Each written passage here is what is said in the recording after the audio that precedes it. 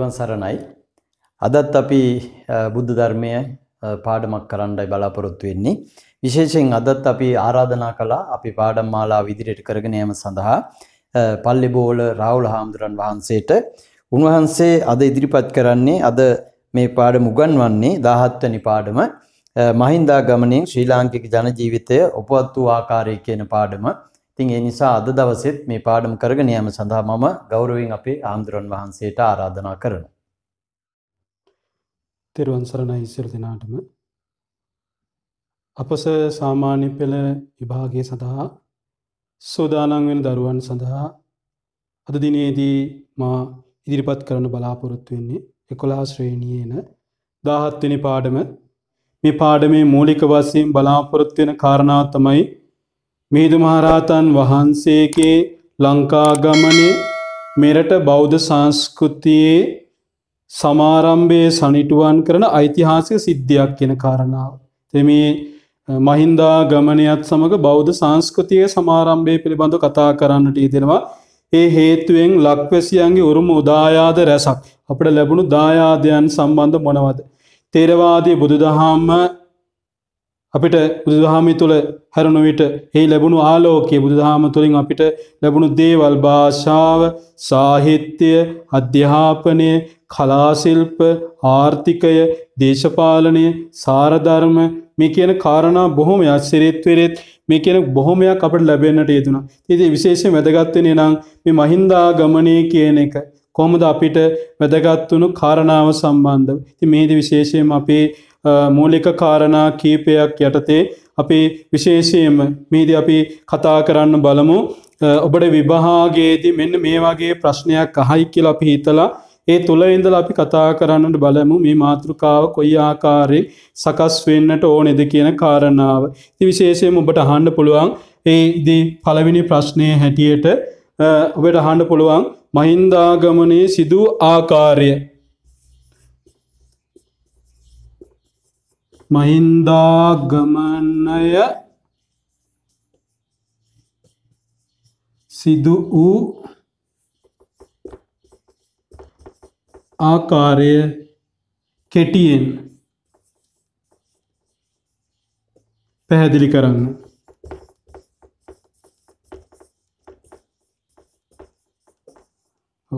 සිදුවා සිදූ ආකාරය කෙටියෙන් පැහැදිලි කරන්න තන් සැකවින් සිදූ ආකාරය සැකවින් දක්වන්න මේ වගේ ප්‍රශ්නයක් අහන්නට පුළුවන්කමත් තිබෙනවා. අපිද මේක දිස්සලාම් බලන්ටෝනේ මිදු හාමුදුරුවෝ මහින්දාගමනේ සිදූ ආකාරය සම්බන්ධ. මහින්දාගමනේ සිදු ආකාරය කිවා මේදි කාරණා කීපයක් බලාපොරොත්තු වෙනවා. ඒදේ අපේ මුලික වසයෙන් බලාපොත්තින කාරණා තමයි කෞුද මේ ආපු පිරිස්ස ටසේ හේ රජ කළේ රජතුමා කවුද? කොහෙයි මොන රටද? ලංකාවේ රජ කළේ කවුද? තර මේ මොන කාලසීමාව තුළ දිදිමිද මේක මහින්දාගමනය සිදු ආකාරය කෙටියෙන් පැහැදිලි කරනතැන් කෙටියෙන් දක්වන්ට ඔබේ ප්‍රශ්නවලින් හන පලවිනිකතා මෙන්න මේක. අපි බලන්නට ඕනේ මහින්දාගමනය කියන කාරණාව අපිට කොහෙ දන්ද අපිට මේක සිදුවනි ධර්මාශෝක අධිරාජ්‍යයාගේ කාලසීමාව තුළ තමයි මේක සිදුවනේ අපි මිදි වැදගත්තන එකක් තමයි එන ධර්මාසුක රජතුමාගේ කාලසීමාව සිදුවනා කියන එක. තරෙනම් ඉන්දියාව ඉඳ නැතන් දම්බදිව ඉඳල තමයි මේ පිරිස ලංකාවට එන්නට ඒදුනිත මේ කාරණාපි සඳහනුවෙන්ට ඕනේ. එද ලංකාවේ රජ කළේ කවුද? දෙවන පෑතිස්ව රජතුමා. අපි කියනවායිර දෙවනි පැතිස් රජතුමායි කාලසීමාව තමයි බුදු දහම රැගෙන ලංකාවට ආවි. ආවේ කවුද? මීන්දු මා රතන් වහන්සේ ඇතුළු ඒ අපි කතා කරන පිරිස් සම්බන්ධ කතා කරන්නට ඉතර ඒ අයි කොහෙටද ආවි?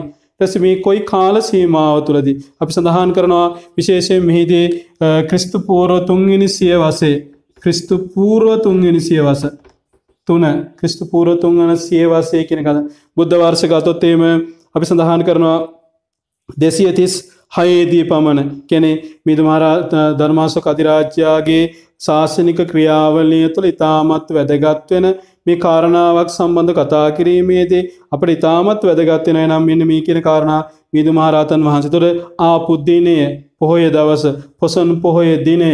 මෙන මේ කියන කාරණා ඉතාමත් වැදගත්වන එතකොට අපි මේ මාතෘකාව තුළ කතා කිරීමේදී. එනිසා එහෙනම් ඔබට අහන්නට පුළුවන්කමත් තිබෙනවා.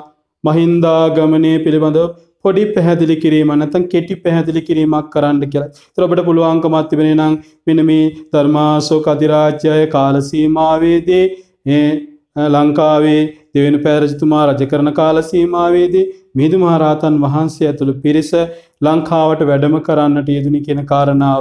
තුරේනං ඒදේ පොසන් පෝය දිනයක තමයි පැමිණෙනට යෙදුනි කියන කාරණාව මේදී අපිට සඳහන් කරන්නට පුළුවන්කමත් තිබෙන. තෙද අපට පළවෙනි ප්‍රශ්නයට එක ඉතාමත් වැදගත්වෙනවා. ඒ වගේම මේකෙදී අහනවා ඔබට ඒ පළවෙනි ප්‍රශ්නයේ ඒ ආකාරයෙන් ඇහු වගේම එකෙද දෙවිනි ප්‍රශ්නය හාන්නට යෙදෙන මොකක්ද මේ සම්බන්ධ ඔබ කතා කරන්න දෙන්නේ. එසේ ලක්දිව බුදු සමයේ ව්‍යාප්තියට තියොත දිව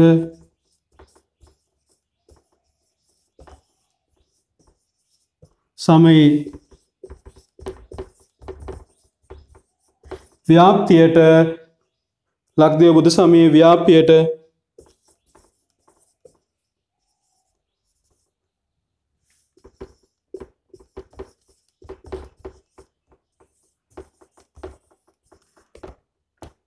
ලක්දිය බුදු සමයේ ව්‍යාප්තියට දෙවන පෑතිස්ස දෙවන පෑතිස්ස රජතුමාගෙන් සිදු රජතුමාගෙන්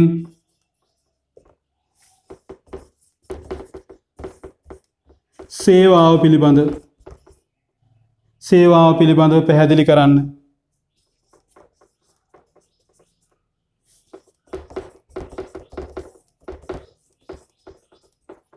සේවා පිළිවන් පැහැදිලි කරන්නද පලනි කාරණය හවා මහින්දා ගමනය පිළිවන් සැකවින් දක්වන්න කියලා යන්න ද අපේදේ කාරණාටික පැහැදිලි කරන්න දෙන දේනි කාරණය ඔබේ හන්න පුළන්ගෙනම් මේ අපේ එනකොට හිටිය දෙවන පැතිස් රජතුමායනං ඒ පිළිබඳ වෙනං ලක්දව බුදු සමය ව්‍යාප්තියට දෙවෙන පැස් රජතුමා සිදු කළ සේවාවන් සම්බන්ධ මොන වගේ කාරණා සම්බන්ධතර අපි දැන් මෙකති කතා කරන්න ඕනේ නම් බුදු හාමුදුරුවන්ගේ කාලසීමාව තුළ මේ ආරම්භ කරන්න දෙදුනා වූ මේ ධර්ම ව්‍යාප්තිය මේ කියන ක්‍රිස්තපූර්ව තුන්ගෙන සියවස කාලසීමාව පමණෙන්ට අසෝක අධිරාජ්‍යය කාලසීමා තුළදේ ලංකාවට ගෙනෙන් ඇදුනේ මිදුමාරාතන් වහන්ස ඇතුළ පිරිස.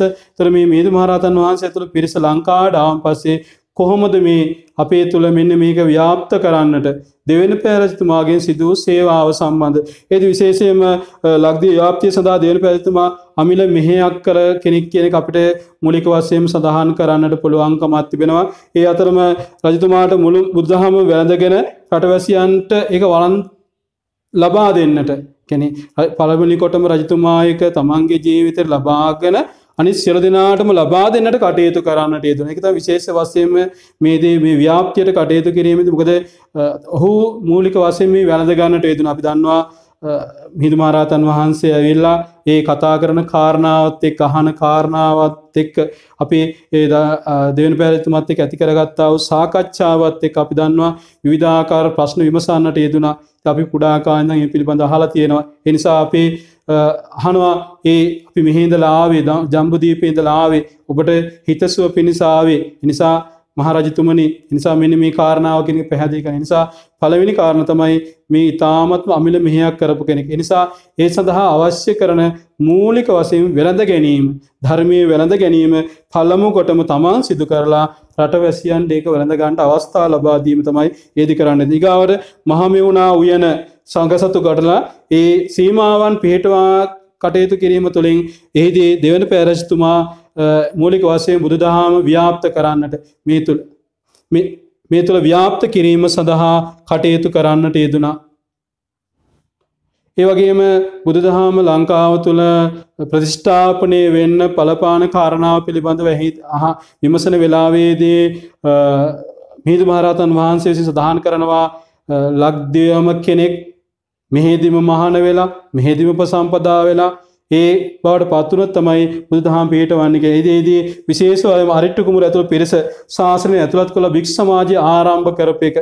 මේක දෙවනු පැස්තුමාතින් කරපු ඉතාමත් සවිශේෂී කටයුත්තක්. අපි නිරන්තරයෙන් කතා කරන කාරණාවත්තමයි එනිසා එන මහමෙවුණා උයන පූජා කල ඒක සංගසතු කරලා ඒක ශාසනයට පූජා කළ ඒ තුළින් සීමාවන් ඉදි කරලා මේ කටයුතු කරන්නට එතුන ති මේ තුළින් අපේ දහම මුලික වසයෙන් ව්‍යාප්ත වෙනට කාරණාව බලප. ඉලං කාරතමයි අරෙට්ට කුමරුව ඇතුළු පිරිස පැවිදි කරලා උපසම්පදා කරලා සංග සමාජයට යොමු කිරීම. ති මේක තාමත් වැදගත්වෙන කාරණාවක්. ඒ වගේම තව කාරණාවත්තමයි මේ ඇසුරෙන්ම ගොද අපීගාට කතා කරන මාතෘකාතමයි මේකෙ දුමින්දාගමනය කියන එක කතා කරනවා. කෙනෙ මහින්දාගමනේ වගේම සුවිශේෂී කටයුත්තත්තමයි දුමින්දාගමන මේකත් දෙවන පෑතිස්ස රජතුමාගේ කාල සීමාව තුළ සිදුවුණු කාරණයක්. ඒත්තක අපිට තියෙනවා බෝධිය ලැබුණ විධාකාරි කලාශිල්ප ලැබුණා. මේ ආදි බොහෝ කාරණ අපට ලැබෙනට ප්‍රබල කාරණයක් බවට පත් වන තේසි විතා ඉතා වැදගත්වෙනවා අනුලා දේවිය ඇතුළු කාන්තාවන්. ඒ සඳහා පැවිද්ද ලබාදීම සඳහා සංගමිත්තා තෙරණිය ලංකාවට වැඩම කිරීම. ති මේකත් මේ කියන කාරණා තුළ ලක්දිය බුදු සම ව්‍යාප්තියට දෙවැනි පැතුමාගෙන් සිදුව කාරණාවන් අතර ඉතාමත් වැදගත් කාරණාවක්. එනම් පළවෙනි කාරණය හැටියට තමන් මේ ධර්මයට වැළඳගෙන අනිත් අයට වැළඳගන්නට අවස්ථා ලබාදීම ඉලංකාරණාවතමයි මහමි වුණා උයන පූජා කළ සංගසතු කරලා ඒක ශාසනයට භාර කිරීම. ඉගාවට රට තුළම කෙනෙක් හරිට්ට කොමුර ඇතුළ පිරිස පැවිදි කරලා සංග සමාජයට යොමු කිරීම ඉළඟට දුමින්දාගමනයේදී වැදගත්වෙන ඒ කාරණාව සඳහා සංගමිත්තා තෙරණිය ලක්දිවට වැඩම කරවා ගැනීම ඒ කාන්තා පැවිද්ද ලබාදීම සඳහා අනුලා දේවී ඇතුළු කාන්තාවන් ඒ සඳහා යොමු කිරීම. ති මේ කාරණාවත් ඒකවන ශ්‍රීමාබෝධීන් වහන්සේ ලංක්දිවට වැඩම කිරීම. අපි ශාසන ඉතිහාසය තුළි තාමත් වැදගත් කාරණයකට සඳහන් කරන්නට. මේක සිදුවනේ ඇතරම මේ දෙවෙන පැත්තුමයි කාලසීමාතයක මික ධර්ම ව්‍යාප්තිය සඳහා බුදුදමයේ ව්‍යාප්තියට බලපාපු කාරණයකට සඳහන් කරන්නට පුළුවන්කමත් තිබෙන. ඊළං කාරණාතම බැලොත්තේම ලක්දිව ශාසන ලක්දිව බුදු සසුන පැමිණීමෙන් පසු මේ විවිධාකාර වෙහෙර විහාර චෛත්‍යය ඒ ගොඩනැකිල්ලි මේ ආදි විවිධාකාරයදේ නිර්මාණයෙන්ට පටන් ගත්තා. ති මේ සියලු දේවල් ඇතිවුණේ ලක්දිය බුදු සම ව්‍යාපතිය දෙවන පැත්තුමන් සිදුව සේවාවත් එක් කියන කාරණාව අපට පැහැදිලි කරන්නට පුළුවන් කමත් තිබෙන. ති මේ කියන කාරණය තුරේ නම් මහින්දාගමනය ගැන සෙකවින් පැහැදිලි කරන්න කියලෙන්න පුළන් ඉගාට ලක්දිය බුදු සම ව්‍යාපතියර දෙවන පැස්තුමාගෙන් සිදුව සේවාව පිළිබඳව පැහැදිලි කිරීමක් කියලකට ආනට පුළුවන්කමත් තිබෙන. ඒ දෙවිනි කාරණය හැටියට. ඒවගේම මේ පාඩම තුළින් ඔවට බලාපොරත්තින තුන්ගනි කාරණාව හැටියට. ඔබට මේකිදිම තුන්ගනි ප්‍රශ්නය හැටියට ඔබට හාන්නට පුළුවන්ක මත්ති වෙනවා තර පලවෙනි ප්‍රශ්නය අපි හැව්වා දෙවිනි එක හැව්වා තුන්ගනි කහන්න පුළුවන්ක මත්ති වෙනවා මොනාද අපිට මේ කියන කාරණාව මහින්දාගමනයෙන් ලැබුණු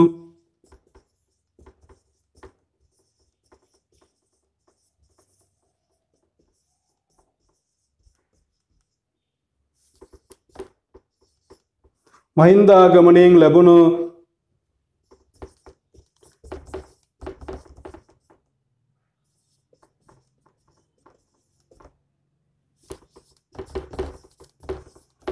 පැහැදිලි කරන්න. මහින්දාගන ලැබුණු දායාද සම්බන්ධව පැහැදිලි කරන්න. ති මේක තාමත්ම මේ පාඩම පුරාවටම කතා කරන්න බලපාන කාරණාටිකත්තමයි පෙන මේ කියන කාරණාව. ඇති මේක තාමත් වැදගත්වෙනවා ගොද මේ මිහිදු හාමුදුරුව මේ කියන කාලසීමාව තුළ ලක්දිවට වැඩම කිරීම තුළින් මොනාද අපට ලැබුණේ? මේ කියන ප්‍රධාන මේ අය මිදු මහරතන් වහන්ස ප්‍රධාන ධර්මදූත මේ අය ලක්දිවට ආවම් පස්සේ මේ ඉතිහාසය තුළ ඉතාමත් වැදගත්වෙන කාරණාතමයි මේ කියන ලාංකිකයන්ට උරුම විච්චි බොහෝ දේවල් අපට දායාද හැටිය ලැබෙන්ට පටන් ගත්තා. එනිසේ විශේෂයම කුද මේ බුදු දහම ව්‍යාප්තියට බලපු අප කාරණා රස අපේ තුළ තිබෙන මේ සිරිත්වරෙත් සාරධර්ම ඒවගේම මේ ගති පැවතුන් මේ සියලු දේවල් මේ කියන හැම එකක් භාෂාව අධ්‍යාපනය ආර්ථිකයේ දේශපාලනය මේ සියල්ලම් බලපාන්න බලපාපු කාරණාටිකත් තමයි මහින්දාගන ලැබුණු දායාද කියන කාරණාව සම්බන්ධ අපි මේදි බල පලවෙනි කාරණ අපට ඉතාගන්න පුළුවන් මිදු හාමුදුරුව ලක්දිවට වැඩම කිරීමෙන් අපට ලැබුණු පළවෙනි දායාතමයි මහා විහාරයේ කේන්ද්‍රයේ කරගෙන වෙහෙර විහාර ආරම්භ කරන්න පටන් ගත්ත. මේක තාමත්ව වැදගත් කාරණයක්. නිසා මහින්දාගමනයත් එක්ක තමයි අපේ ලංකාව තුළ මහා විහාරය කේන්ද්‍ර කරගෙන මේ ඇතිවුණාව සියලු වෙහෙර විහාර සම්පදාය නැතිවීම මූලික වසයෙන් හේතුවනේ තිනිසා අපේ මෙහිදී තාමත් අපට ලැබුණු ප්‍රබල දායාදයක් හැටියට. නිසා මේ කාරණා අපිට පැහැදිලි කරන්න පුළුවන්ක භික්ෂු සහ භික්ෂුණී සමාජය ආරම්භවීම ඉතාමත් වැදගත් වෙනවා. අපි කතා කලා අරෙට්ට කුමර ඇතුළ පිරිස පැවිදි වෙන එක අනුලාදේවී ඇතුළ පිරිස පැවිදියෙන එක. මෙන මේ කාරණාව හර අපිට භික්ෂු සහ භික්‍ෂුණී සමාජය ආරම්භ කිරීමත් මේ කියන්න වූ මහින්දා ගමනයත් එක්ක තමයි අපිට සිදුවනට සිදුවනි. එනිසා අපිට මේ කාරණ ඉතාමත් වැදගත් කාරණාකට සඳහන් කරබ මහාවිහාර කේන්ද්‍ර කරන අධ්‍යාපන ක්‍රියාවලයක් කියලට ආරම්භ වෙනවා. අපි දන්නවා මේ අධ්‍යාපන ක්‍රියාවලිය පිළිබඳ කතා කරද්දේ අපට ඉතාමත් වැදගත්වෙන මේ කියන මහින්දාගමනේ මේත් එක් අපිට බොහෝ දේවල් අපට ලැබෙන්ට පටන්ගන්නවා.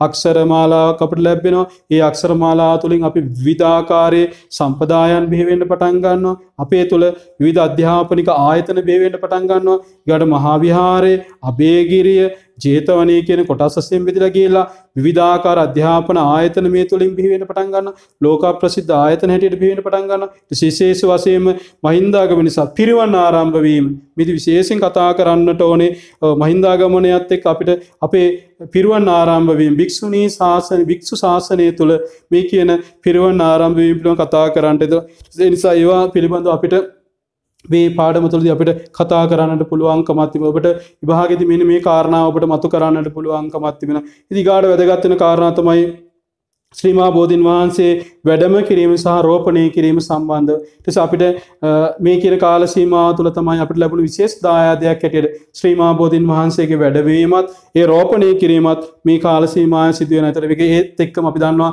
කලාශිල්ප විවිධාකාර දේවලට අයිති අපි හල තියෙනවා දහාට කුලේකට අයත් පිරිසක් මේ සමඟ පැමිණියයි කියන කාරණාව මේ තුළ අපිට ලැබුණු දායාද අනන්ත අප්‍රමාණයි. ඒගාට ප්‍රතිමා කලාව වාස්තු විද්‍යාව මේ කියන කාරණාවත් අපට ලැබෙන්ට පටන් ගත්තේ.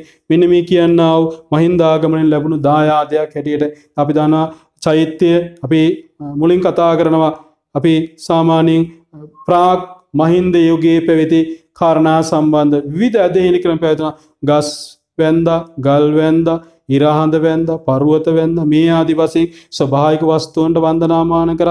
මේ මේවා මේ බුදුද හමත් එක්ක වෙනස් වෙන්ඩ පටන් ගත්තා. වෙහෙර විහාර ඉදිවීමත් එක්ක අපි දන්නවා ගහක් වැන්දනම් ගහට අපි ආයෝජනයක් හෙට අපි ගෙනල පෙන්වා මෙන්න මේ ශ්‍රීම බෝධියට වන්දනා කරන්න. බොධි වදින්න ඕන ක්‍රමය කිව පැදකුණු කරන්න ඕන ක්‍රමය කිව්වා. එක යන්න ඕන ස්වභාවයක සඳහන් කර. ටස පරුවත වන්දනා කර බවට චෛත්‍යය නිර්මාණය කළ. එක වදින්ට ඕන ක්‍රමේ පැහැදිලි කරන්නට එතුනා ටසේ දෙවියන්ට වන්ද පුද පූජා පැවැත්ව අපි එක දෙවියන්ට පින් දෙන්න ඕන ආකාරයට සකස් කරන්න දෙෙන මළගේ ඇත්තන්ට පුද පූජා පැවැත්ව එක මළගේ ඇත්තන්ට පින් දෙන්න කොමදි කෙන ආකාරයට අපි ක්‍රියා කරන්න පටන් ගත අපට මේ ලැබුණු දායාදයන්තමයි අපි අදත් පාවිච්චි කරන්නට දෙන්න. මිනිමි කාරණාව මිනිමි කියන පාඩම තුළින් අපි බොහෝවිට බලාපොරොත්වෙනවා ඉළඟ තමයි අපිට චිත්‍ර මූර්ති කැටයම් මේ කියනාද නිර්මාණ බොහොමයක් බිවෙන පටන් ගත්තා අපි දන්න අපි ගතත මාග්‍රගන්නේ කලා නිර්මාණයන් අතර සඳකඩ පහන ගත්තත් මහන අන්රාධපුර යුගයේදී බැලුවම් පස්සේ මොනතරම් ඒ දර්ශික නිර්මාණය වගේම චෛත්‍ය නිර්මාණ දිහා බැලුවම් පස්සේ ඒ තුළින් බුදු දහමින් ඔපවත් කරන කාරණ බුද්ධ ප්‍රතිමාවක් ගත්තත් මොන්න තරන් දේවල් අපි මේ තුළින් ජීවිතයට ලබාදෙන් උත්සාහ කරනවාද කියන කාරණාව ඉතාමත් පැහැදිලි වෙනවා. එතොට ඒ වගේම විශේෂයම දෙතොට අප කාරණා කීපය කතා කරනකට භාෂාව සහ අක්ෂර මාලා ලබෑවී සම්බන්ධ ලෙසේ බ්‍රාක්්මී අක්ෂර මාලාවක් මුල්කරන ඉන්දයා මුල්කරන අපිට බිහිවුණයි කියන කාරණා සම්බන්ධ අපි කතා කරන්නට එදෙන ති මිනිමි කාරණා සම්බන්ධවිකට සිංහල සාහිත්‍යය පාලි සාහිත්‍යය මේ මුල් කරන අටුවාවන් බෙහෙවෙනට පටන්ගත් අපි දන්නවා විධ අවස්ථාවලද මේ පිළිබඳ අපට කතා කරන්නට එදෙනවා නිසා සිංහල පාලි සාහිත්‍යය මුල් කරගෙන අපේ සාහිත්‍යය බෙහෙවෙන්න පටන්ගත්තා තසේ දෙහෙමි රාජ්‍ය පාලනය සදා ප්‍රතිපත්ති සකස්සෙන්ට බල පාලන ක්‍රමයක් ඇති කරගන්න කොහොමද කියන එක ෙ. මිනිසු කොමද යහපත්වවෙන්න කියන කාරණාව සම්බන්ධ කතා කරන්න. එක දෙහැමි ආර්ථික ප්‍රතිපත්තියක්. මිනිමි කියන කාරණ අපට ලැබෙනට පටන්ගත්තා ටසේ පුද සිරෙත් සිරෙත් විරෙත් කියන කාරණාත් අපි තාමත්ම නිවැරදිව සකස් කරගන්නට යුතුනයි වගේ උසස් සාර්ධම තාමත් වැදගත්වෙන කාරණාතමයි මහින්දාගමන නිසා අපට ලැබිචම උසස් සාර්ධර්මා ගුණ ධර්ම අද අපි කතා කරන මේ සියලු දේවල් මම ඇතුළු ඔබ ඇතුළු ඔබ මේ කතා කරන ක්‍රියා කරන සියලු දේවල් අපට ලබාගානට පුළුවන්කමක් ලැබුණේ මෙන මේ මහින්දාගමනය කියන කාරණාවත් එක්ක. තියෙන මෙන මේ කාරණාතක අපට නම් මේ මාතෘකාපි තුනක් පිළිබඳ කතා කරන්නට එදුනා ඒද පළවිනි කාරණාව කතා කරන්න එදුනා මහින්දා ගමනය කියනක සැකවින් පැහැදිලි කරන්න කියෙන කෙටියෙන් පහද මහින්දාගමනය කියෙනෙක කෙටියෙන් පහදන්න කියන එක. මහින්දාගමන සිදු වූ ආකාරය සම්බන්ධ කෙටියෙන් පහදන්නට ඒද අපි සඳහන් කරා මිදු හාදුර ලංකාවට ආව කාලසීමාව ඒ කාල ඉන්දියාවේ දඹදිව කවුද රජකං කරන්න තුනේ තොර ඒ කාලසීමාව කුමක්ද? ආපු පොයදිනේ කුමක්ද? මෙන මේ කියන කාරණා ඉතාමත් වැදගත්වෙන කාරණාක සඳහන් කර. ඒ අතර ඉතාමත් වැදගත්වන රජෙක්තමයි නම් දෙවෙන පැතිස් රජතුමා තස මේ කියන කාරණාවදි ලක්දිව බුදු සමය ව්‍යාප්ත කරන්න දෙවනි පැරසිතුමායන් සිදුව සේවාව සම්බන්ධ ඔබට කතා කරන්න පුළුවන් මේ පාඩම තුළදි. ඔබට කියන්න පුළුවන් මෙන මේ කියන කාරණා තුළ ඔහු ඉස්සල්ලාම ධර්මය වැළඳගත්තා. අනිත් අයට ධර්මි වැළඳගන්නට අවස්ථාව ලබා දුන්න.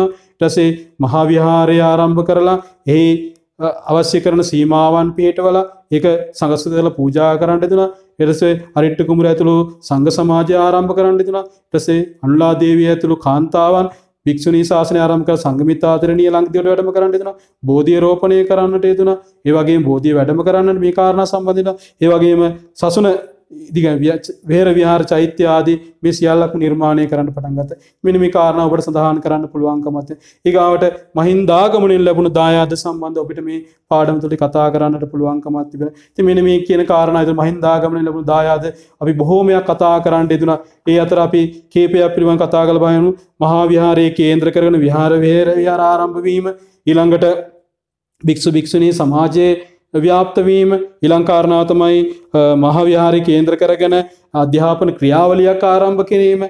මෙ මේ කියන කාරණ. ඇතුට ශ්‍රීමාබෝධය රෝපණය කිරීම වැඩම කිරීම මේ කියන කාරණත් එක්ක ආරම්භ විරීම ඒත්තක කුල දහටක් පැමිණීම මෙනම කියන කාරණා බොහොමයක් මේ කාලසීමාව සිදු කරන්න තන තියෙනසා අපිට විභාගයේදී සූදානංවීමේදී මූලික වසෙන් මේ කියන මාතෘකා තුන ඇසුරු කරගෙන ඔබට බොහෝ ප්‍රශ්න විමසන්නට පුළුවන්කමත් තිබෙන සමයක ඔබට තවාධ්‍යනය කරම් පසේ තවපට පුළුවන්කමත් තිබෙනවා. මේක කියීමේදී විවිධ අවස්ථාවල් ඉතාමත්ම කොඩා අනු කොඩා ප්‍රශ්න ඔබට විමසන්නට පුළුවන්කමත් තිබෙන ති මේ සඳහා ඔබ සූදානන් ඉතාමත් වැදගත්වෙන නිසා ඔබ කල්පනා කරන්න මේ කියන්නාව දාහත්වනි පාඩම තුළින් මහින්දා ගමනින් ශ්‍රී ලාංකික ජනජීවිතය ඔපවත් වූ ආකාරයකින පාඩම තුළින් මෙන්න මේ කියන කාරණ ඔබට සකස් කරගන්නට පුළුවන්කමක් ලැබෙනවා. තිය නිසා ඔබට පුළුවන් තරං උත්සාහ කරන්න මේකින් අපේ ජීවිතය සකස් කරගන්න වගේම ඔබ සාමාන්‍ය පෙළි භාග සඳහා ඉදිරිපත්වෙන දරුවෙක් හැටියට ඔබට පුළුවන්කමත් තිබෙනවා මේ කියන කාරණාටික ගොුණු කරගෙන ඔබට ජීවිතයට අවශ්‍ය කරන දේවල් එකතු කරගන්නට නිසා ඔබ සියල දෙනාටම ම ප්‍රාර්ථනා කරනවා